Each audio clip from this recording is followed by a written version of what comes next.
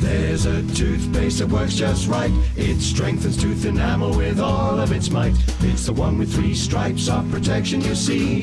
It's Aquafresh for the family. Aquafresh not only fights plaque and freshens breath, but the white stripe penetrates into the surface of your teeth to strengthen from the inside out. Aquafresh gives three, three in one protection for your family.